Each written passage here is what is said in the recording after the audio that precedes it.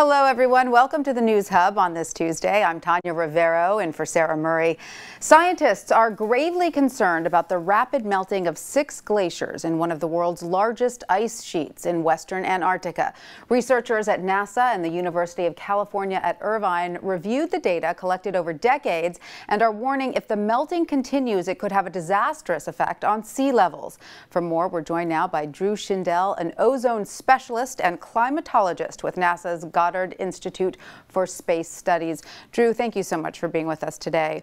Thank you. Tell us a little bit more about the effect the melting of these six glaciers could have. Well, these glaciers help support the whole ice sheet behind it. So while they seem like a small amount of ice, as these drain out to the ocean, the ice behind it becomes freer to move out. And so you could get actually several feet of sea level rise over the long term. And what is the relationship of these six glaciers to the ice sheet itself? Well, Antarctica has a mountain range down the middle, and these six glaciers help support and drain out the, the ice sheet portion that's on the west side of that mountain range. And so will we see the impact of this threat realized in our lifetimes or in our children's lifetimes? Well, we'll see both because sea level rise is already happening. And what we'll see is this component of sea level rise from the melting ice, along with expansion of seawater as it warms up. Those will contribute over the next decades during our lifetime. And when you have things like Hurricane Sandy, when you get a big storm, it'll just make the damage that not much worse over the long term, we'll then start to see really large amounts, and even the baseline, just the everyday amount of sea level will be so much higher that it will really, really cause a lot of problems. So we're talking about permanent coastal flooding in certain areas. Which areas are most threatened by that?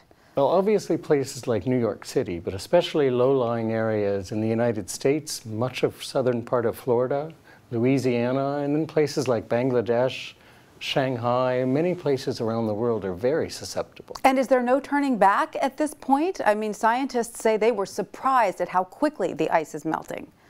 Well, there may not be a turning back from melting of West Antarctica, but there is still control over how much sea level rise we experience, which is really what we care about. Mm -hmm. Because the biggest portion to date has come from just warmer water expanding.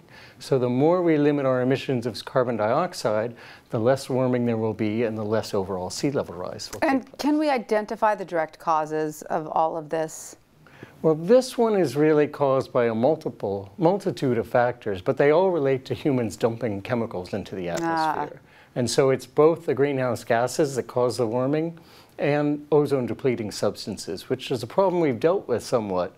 But unfortunately, without dealing with the other one, the greenhouse gases, this is likely to keep continuing and even accelerate. And so what are the recommendations going forward so we can check this melting?